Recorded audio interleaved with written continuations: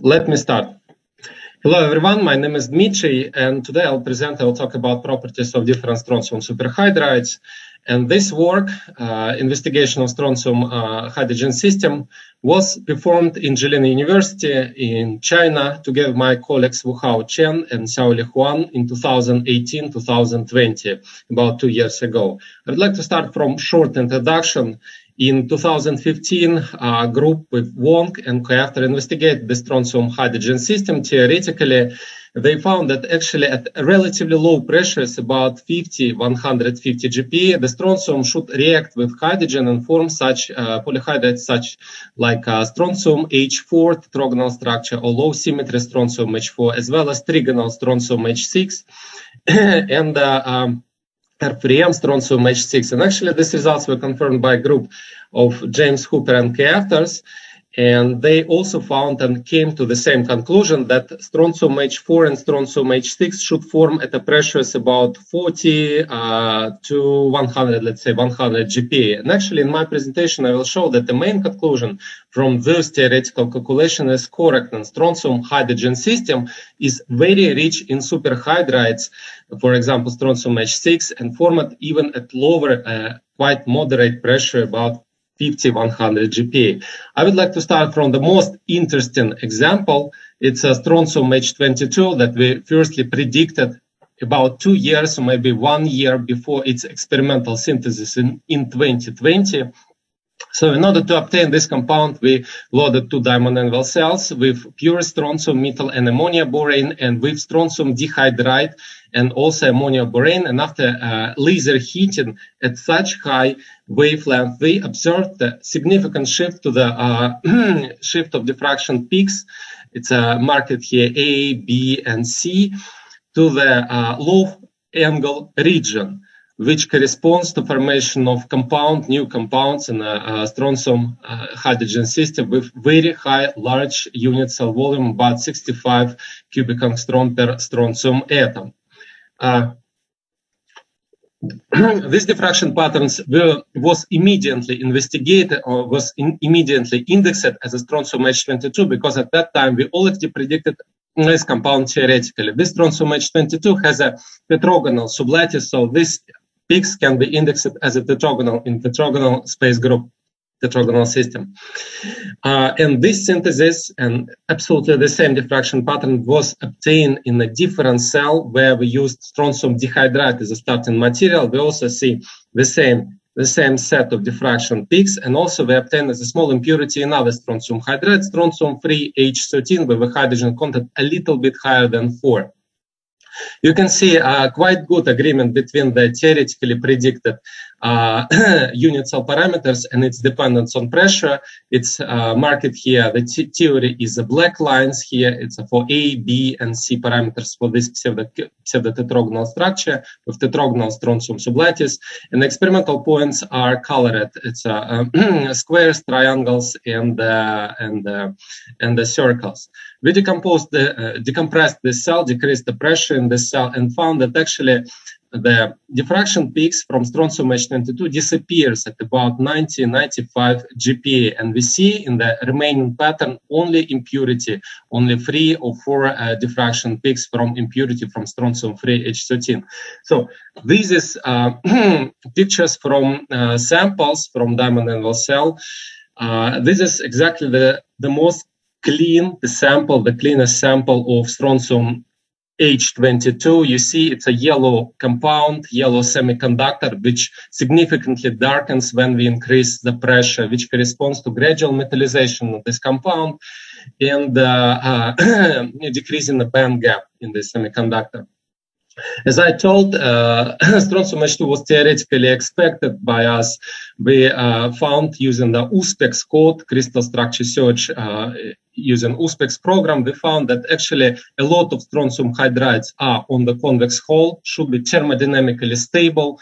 Uh, among them, there is a strontium H17, uh, strontium H34, and especially strontium H22, which is shown in this in this line in this picture. We found that this is uh, this compound should be thermodynamically stable with accounting zero point energy and without accounting zero point energy and in quite wide uh, temperature range from zero to 200, 2000, 2000 Kelvin. And you see that when we increase the pressure, stabilization of this compound even increases. Uh, theoretically predicted structure contain um, consist of mostly molecular hydrogen, and only 10% of hydrogen atoms are anions with small electrical charge, about minus 0.3 uh, electrons. So this compound actually can be ionic conductor. In principle, when we apply uh, electric field, uh, these anions, hydrogen anions, will move, and the conductivity. This this compound can demonstrate ionic conductivity. We also measured Raman spectrum and we didn't found any Raman peaks except the uh, hydrogen vibron peaks, which corresponds to hydrogen vibron inside of the structure, uh, corresponds to hydrogen molecules inside of the structure. We didn't find any signatures, uh, which is typical for molecular hydrogen, pure molecular hydrogen. We didn't find any methane in this compound. And actually, theoretical calculations for this semiconducting structure of strontium H22, resonant Raman calculations, shows that actually uh, predicted fundamental signal for this compound, Raman fundamental signal, is in very good agreement with uh, experimental experimental findings with experimental Raman uh, spectra. It should be about 4,140, and experiment is about 4,150 uh, invert centimeters. When we know the structure, we can also calculate the electronic properties of compounds and compare it with experiment. And we did it using two different methods, using ABINIT and VASP, exchange correlation functional PBE and uh, uh, TB09. And in both cases, we found that close to uh, Fermi level, the bands, uh, valence bands and conductive bands do not cross each other and form pronounced band gap uh, with the size about 1.2, 1.8 electron volts. So this compound in theory also should be semiconductor as we saw it in experiment when we saw that the compound actually is transparent we calculated harmonic uh, harmonic phonons, harmonic uh, phonon density of states in band structure, and found that even in harmonic approximation, the compound is almost stable and do not demonstrate, especially in the hydrogen sublattice, do not demonstrate any significant anisotropy, any significant dis- dispersion. It means that the hydrogen sublattice is uh, is kind of liquid or amorphous glass, amorphous hydrogen glass inside of this compound because almost no anisotropy, almost no anisotropy, and hydrogen sublattice is just uh, uh, isotropic media where the just placed the strontium atoms are placed. okay, including anharmonic effects, uh, inclusion of anharmonic effects stabilize the structure almost without structural changes. And uh, uh, because we know the structure, we can calculate also the electric function and compare the transmission, predicted transmission spectra with real color that we observe. And you can see that this curve, it's a theoretical curve of transmission. We see that compound should transmit the light mostly yellow or orange and red light. So it should be, uh, should has a visible light visible color uh, bright yellow or dark orange as it's shown in this slide, which uh, in very good agreement with experimental observations again.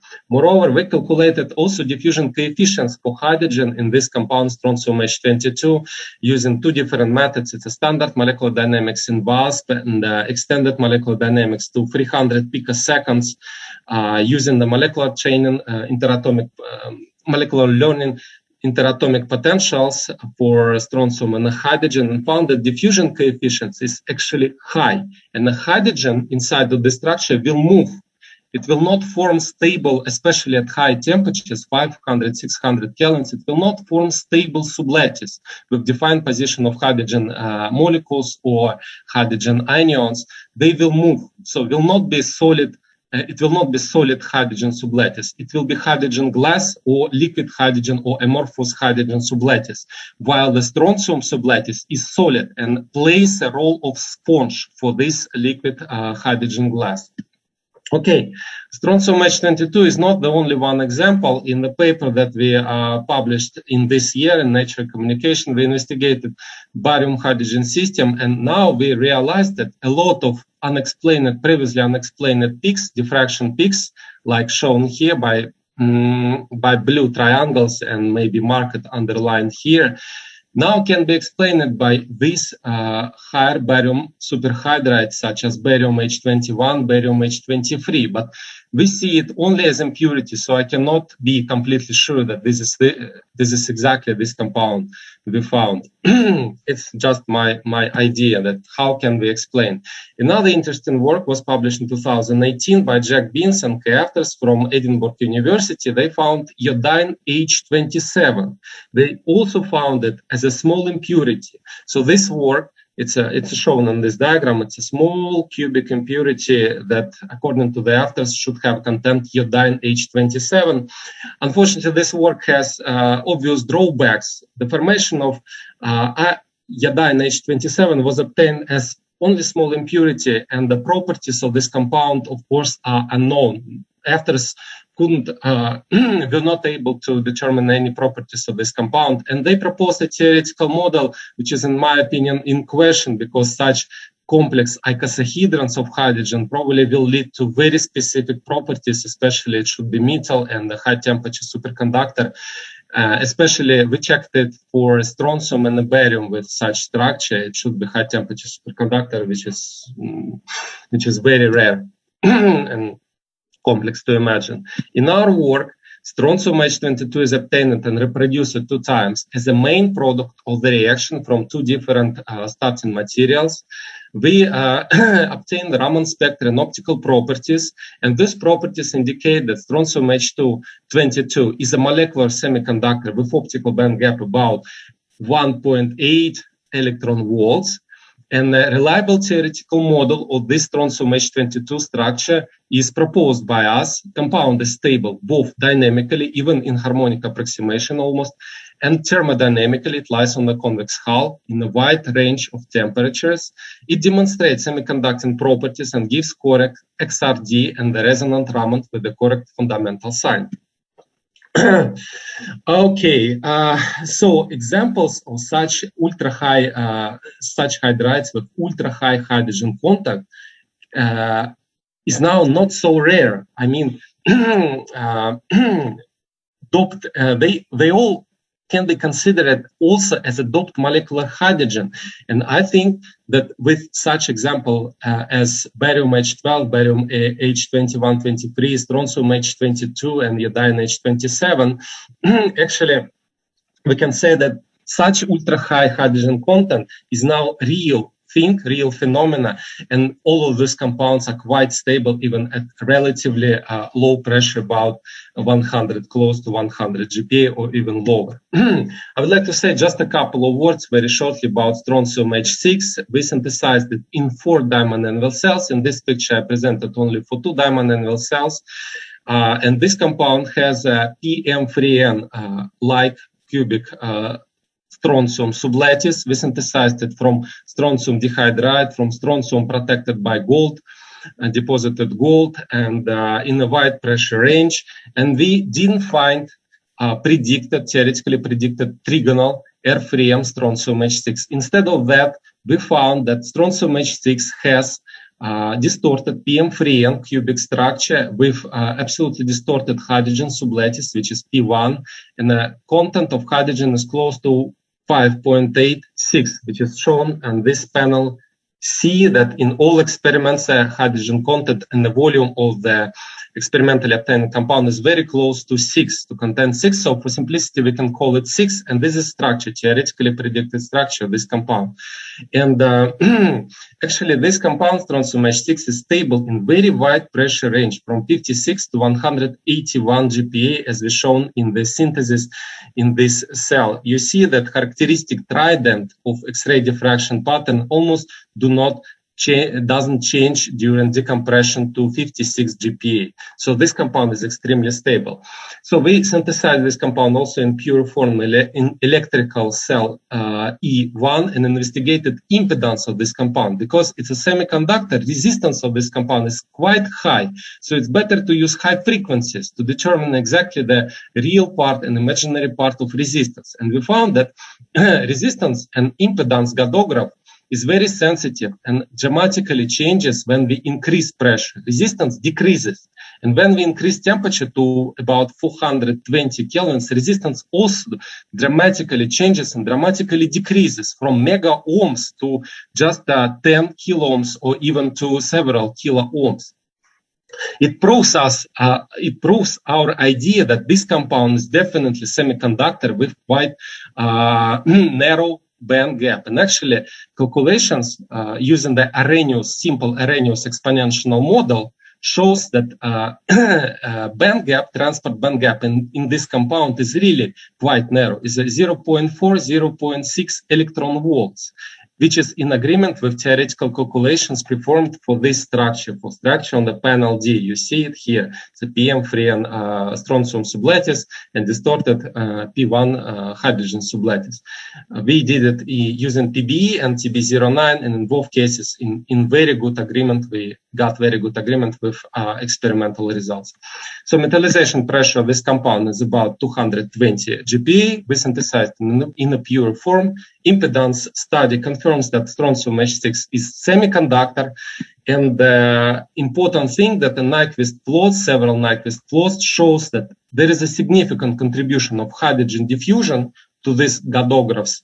And uh, uh, this compound actually plays a role. And we also see the signs of electrochemical reactions on electrodes with probably production of hydrogen because it's an ionic conductor. And when we apply the voltage, especially low frequency, we can see the formation of even hydrogen in this linear uh, part of hodographs, which is typical for lithium ion batteries also.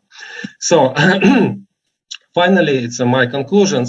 I would like to say that we uh, do not know a lot about rubidium. We still do not know a lot of rubidium, cesium, and scandium superhydrides.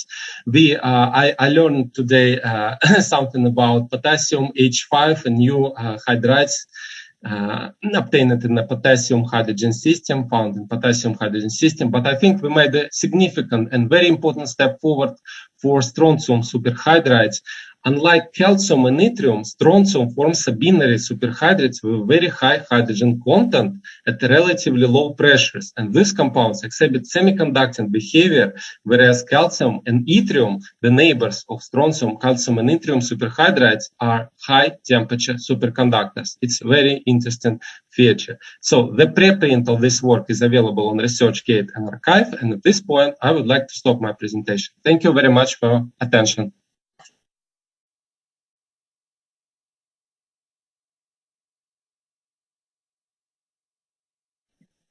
Uh, very nice. Uh, very nice. Oh. Do you hear me? Uh, yes. very nice yes. presentation. Yeah. Okay. Yeah. Questions. I can accept one question if there are any. I can accept one. Oh, that's short one. How do you determine the stoichiometry of a strontium H22? How can you claim there's 22, 21?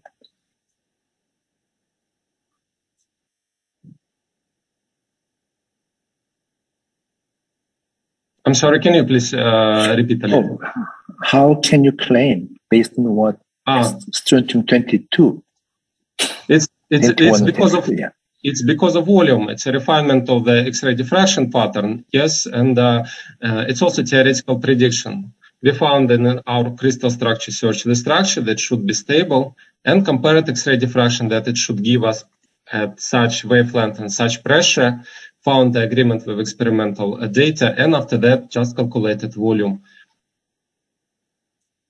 Volume expansion a lot. Okay. Okay. Any yes. comments other than that? If not, okay. Thank you very much, uh, Professor Semenok, and it's nice work. Okay. Thank you very much. Thank you.